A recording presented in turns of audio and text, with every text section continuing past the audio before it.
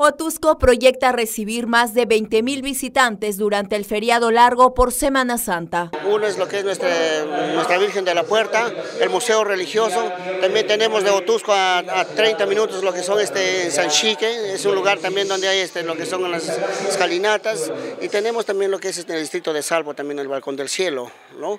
Y si quieren aprovechar para que vayan a visitar como un feriado largo. Invitar a, a visitar nuestra provincia de Otusco, a disfrutar de sus platos típicos, a, a disfrutar también de esos este, atractivos turísticos y a pasar una Semana Santa en familia. Como cada año, más de 100 actores de Chiclayo, Trujillo y Lima formarán parte del elenco que realizará la escenificación del Via Crucis el próximo 29 de marzo. Este año este, nos acompaña, como les, dijo, les, he dicho, este, Javier Valdés y Alexandra Graña.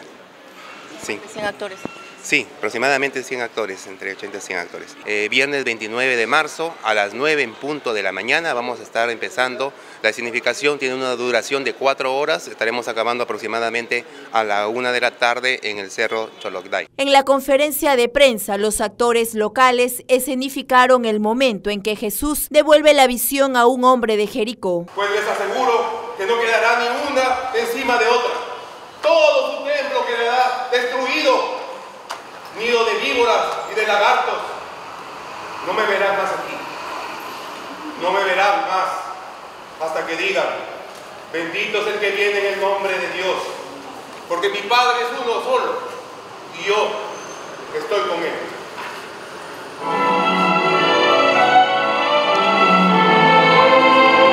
Actividades por la celebración religiosa iniciarán este 24 de marzo con el Domingo de Ramos. La provincia de Otusco ofrece también lo mejor de su culinaria y atractivos turísticos. El pasado hemos tenido un aproximado de 20 mil turistas, ¿no?